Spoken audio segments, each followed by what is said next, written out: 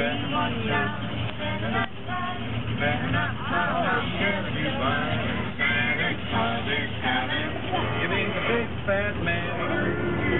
just the island dreaming that we fancy you.